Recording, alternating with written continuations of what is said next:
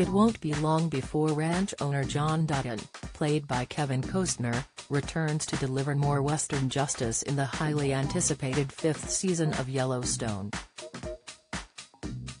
Ahead of the premiere on the Paramount Network this November, an executive producer for the hit series has confirmed some surprises are in store when the cowboy family is back on screens.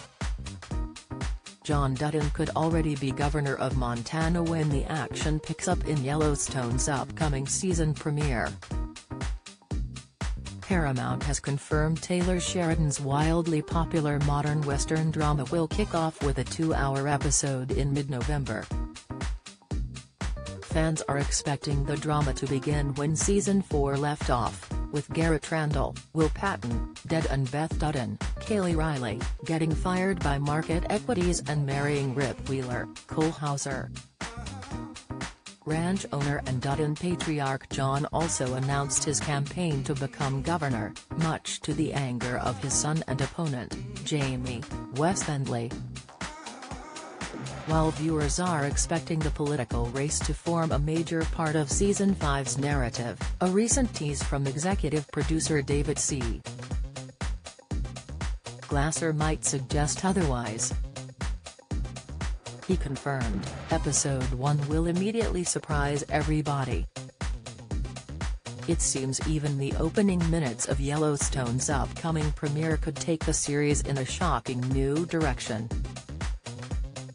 where our story starts and what has happened, David elaborated in his interview with TV Insider.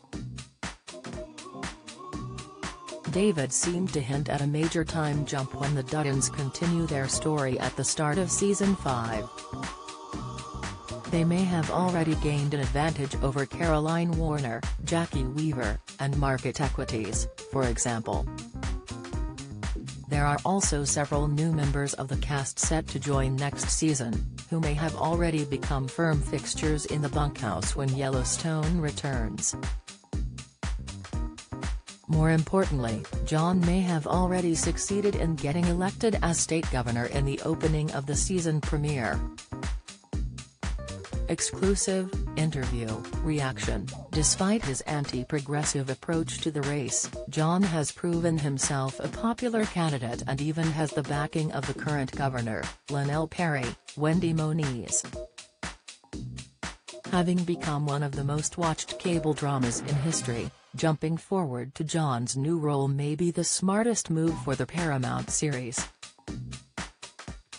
With John already governor, there'll be much more time to focus on his feuds with market equities, Thomas Rainwater, Gil Birmingham, and anyone else trying to get their hands on his land.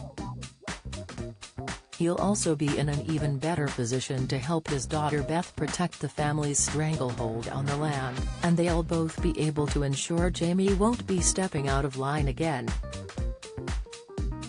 Meanwhile, John's son Kayce, Luke Grimes, is still conflicted about his future with the Duttons, though having a governor for a father could be enough to convince him to remain by his family's side.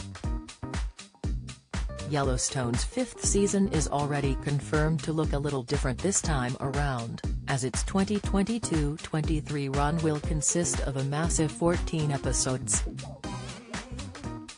fans were also surprised to learn Q'orianka Kilcher will be reprising her role as Angela Blue Thunder after her absence in Season 4. Plus, newcomers Kai Caster, Lainey Wilson, Lilli Kay and Yellowstone, 1883 Alan Dawn Olivieri will be introduced to the already stacked ensemble cast.